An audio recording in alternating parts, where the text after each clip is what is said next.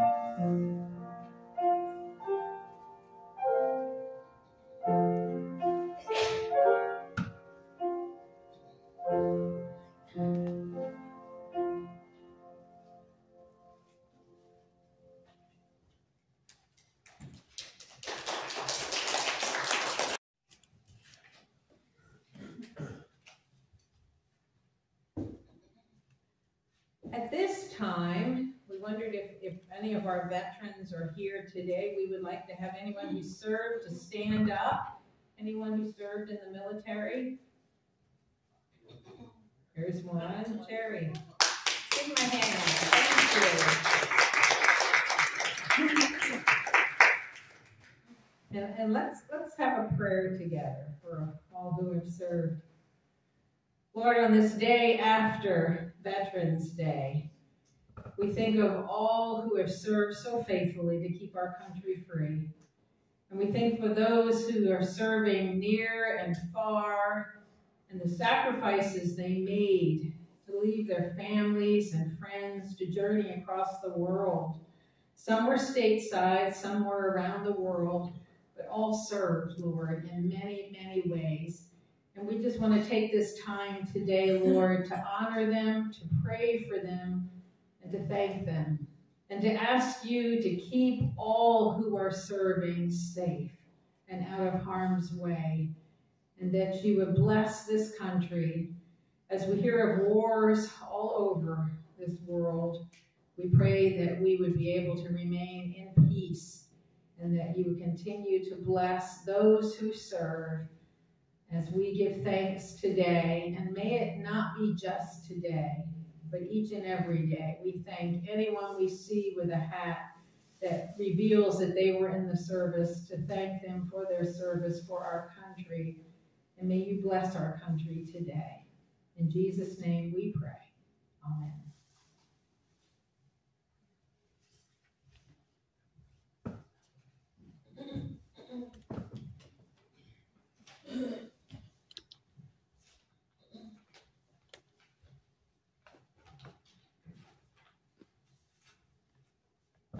Our scripture lessons for today, the epistle lesson is found in First Thessalonians chapter 4, verses 13 to 18. But we do not want you to be uninformed, brothers and sisters, about those who have died, so that you may not grieve as others who have no hope. For since we believe that Jesus died and rose again, even so through Jesus, God will bring with him those who have died. For this we declare to you by the word of the Lord, that we who are alive, who are left until the coming of the Lord, will by no means precede those who have died. For the Lord himself, with a cry of command, with the archangel's call, and with the sound of God's trumpet, will descend from heaven, and the dead in Christ will rise first. Then we who are alive, who are left, will be caught up in the clouds together with them to meet the Lord in the air. And so we will be with the Lord forever. Therefore, encourage one another with these words. Our gospel lesson today is found in the book of Matthew, chapter 25, verses 1 through 13. Then the kingdom of heaven will be like this Ten bridesmaids took their lamps and went to meet the bridegroom. Five of them were foolish, and five were wise. When the foolish took their lamps, they took no oil with them, but the wise took flasks of oil with their lamps. As the bridegroom was delayed, all of them became drowsy and slept. But at midnight there was a shout Look, here is the bridegroom. Come out to meet him. Then all those bridesmaids got up and trimmed their lamps. The foolish said to the wise, Give us some of your oil, for our lamps are running out. But the wise replied, No, there will not be enough for us and for you. You had better go to the dealers and buy some for yourselves. And while they went to buy it, the bridegroom came, and those who were ready went with him into the wedding banquet, and the door was shut. Later, the other bridesmaids also came, saying, Lord, Lord, open to us. But he replied, Truly, I tell you, I do not know you. Keep awake, therefore, for you know neither the day nor the hour. Here ends the reading of God's holy word. May it bless our lives.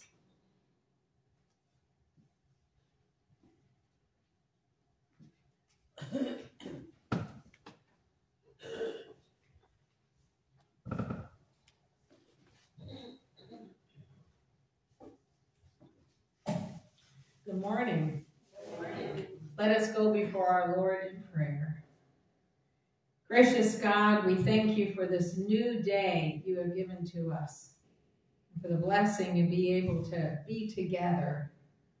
We ask that your Holy Spirit would speak to our hearts today through the words of song, through the words of scripture, and through the words you have given me.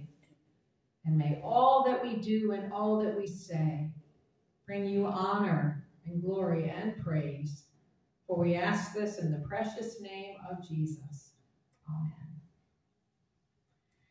I would imagine that most of us gathered here today remember that song, This Little Light of Mine? Probably learned it in Sunday school, right?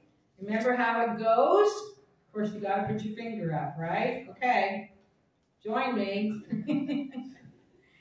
this little light of mine, I'm gonna let it shine. This little light of mine, I'm gonna let it shine.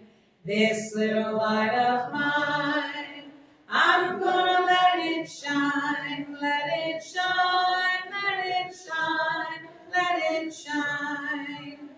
And the verse I'm especially thinking about today is the one that says, Let it shine till Jesus comes. I'm gonna let it shine. Let it shine till Jesus comes. I'm gonna let it shine. Let it shine till Jesus comes. I'm gonna let it shine. Let it shine, let it shine, let it shine. So I guess the question is, how do we do that? How do we let our light shine until Jesus comes? How do we keep it lit? Perhaps the answer is found in our parable for today. Ten bridesmaids went to a wedding with their lamps, ready to light the way when the bridegroom would appear, for they knew that was their job. You see, at weddings in Jesus' day, when the bridegroom appeared, the guests, including the bridesmaids, lit torches and went out to greet him.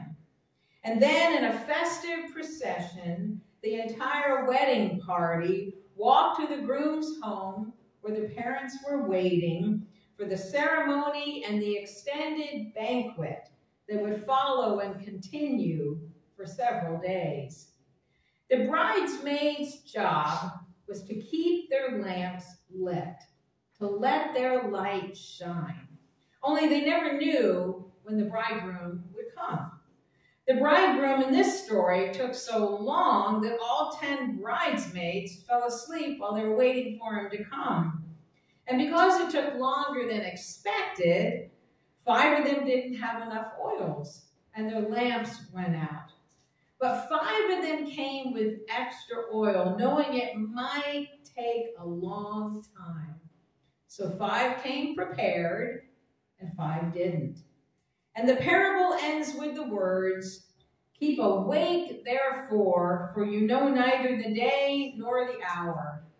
In other words, be ready, be prepared.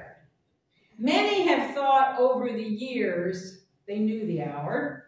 I can't tell you how many people came up to me at the beginning of COVID and told me that this was the hour, Jesus was coming back. But in reality, None of us know when he will return. What we do know from Scripture is that Jesus will return one day, but the question is when. And how do we keep our lights going until he does? Because if we're honest, it's been a very long time, over 2,000 years. Even the Apostle Paul believed that Jesus was going to come back in his lifetime. So did the church members Matthew wrote his gospel for. And as they went through persecution and were ostracized by their community and family members, their lights started to go out a little bit. Their hope of his return helped them to get through the day. But as the years went by, their lights got dimmer. They just weren't sure they had enough oil. We kind of know what that is like, don't we? We may not have gone through persecution for our faith, but we have had our share of troubles. Some of us have serious health problems. Some of us have relationship issues to work through. Some of us feel all alone at times and wonder if God is even hearing, let alone answering our prayers. And some of us are having serious doubts about it all. We know what that is like. And we know how easy it is to get distracted by the troubles and the struggles of our daily lives. We know there are times when our lights get dim, especially when we focus on those difficulties. And as we focus on them, we tend to lose our hope. So, what keeps your lamp lit? What keeps your light shining? because it doesn't just stay lit, it needs fuel to keep shining. Those five bridesmaids who were called foolish ran out of fuel they needed to keep their lamps lit, and they were left in the darkness. What do we need to keep ours lit? Well, we learned from those bridesmaids that the key, the answer, is being prepared. Being prepared that this long wait for the Lord to return may continue a bit longer. Being prepared that we have what we need to keep our lamps lit, that we have enough oil in the reserve. In the fifth chapter of Matthew, Jesus says, Let your light shine before men and women, that they may see your good works and give glory to your Father in heaven. We help to fuel our lamps, our light. We shine our light by serving, by volunteering, by helping others. By those good works, we keep our lamps going. Another way we keep it lit is by staying connected to Jesus through prayer and reading the Bible. I know I've said it many times before, but it's so important. It's our lifeline. We keep it lit by coming to church and being a part of this community here. We keep it lit by inviting the Holy Spirit to work in our lives and to help us grow in our faith. We keep it lit by putting, putting God first in everything we do, by putting God and God's will for our lives over everything else as we put aside our wants and follow God's will for us. And as we allow God to move and push us to go where God wants us to go. Pastor Alyce McKenzie once led a year-long spirituality class with a dozen students committed to the practice of Christian prayer. Over the Christmas break, each student committed to reading a particular book of the Bible prayerfully from the beginning to the end. One of her students, a young man in his mid-twenties, recounted that after Christmas, his wife had gone to visit her parents in another city for several days. And that left him home in their apartment with their two-year-old English beagle named Sadie. Every night around 10 p.m., he would sit on their love seat and spend a half hour on his devotional reading.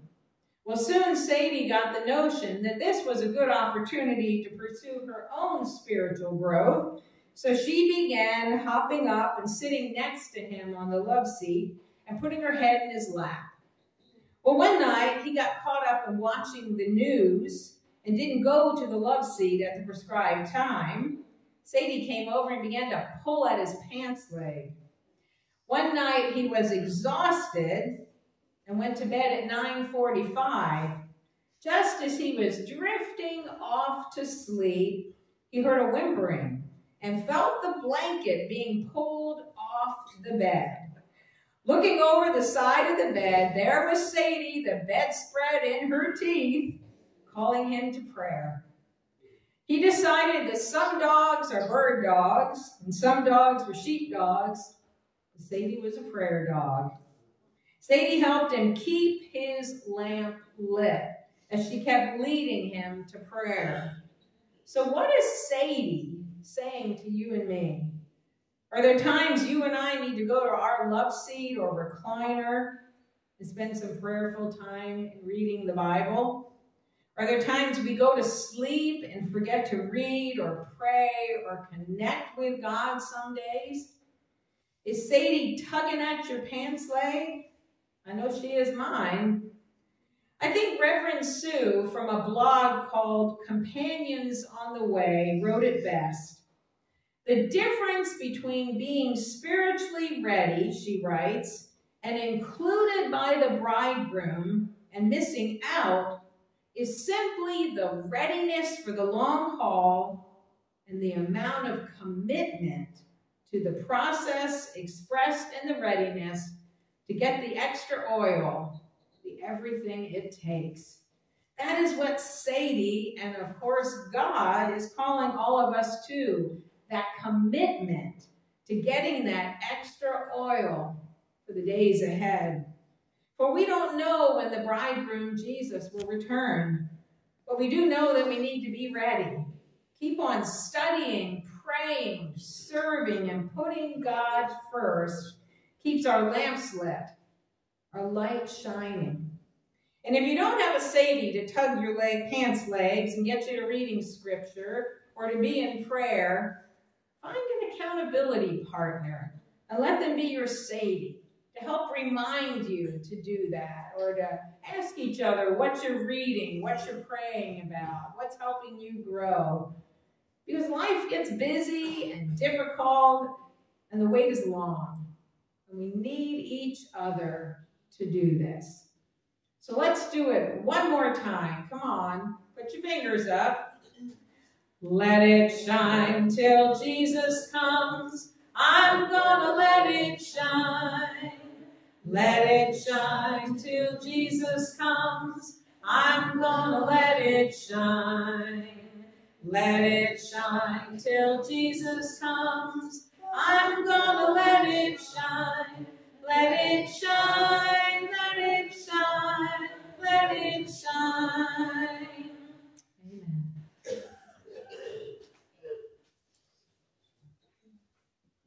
So we have two birthdays this week. One of them is Carson. And we said when we lost our dear Effie, we would remember her birthday because she would have been 100 on what day? 16. And what day is Carson's birthday? tomorrow. So remember, sing happy birthday to Effie in heaven and to Carson. Happy birthday to you. Happy birthday to you. Happy birthday, dear friends. Happy birthday to you and many more.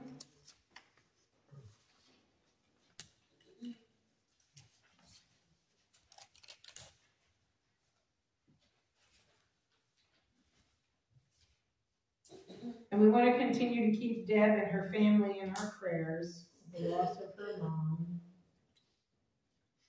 And let's lift Carson up for, for healing and strength.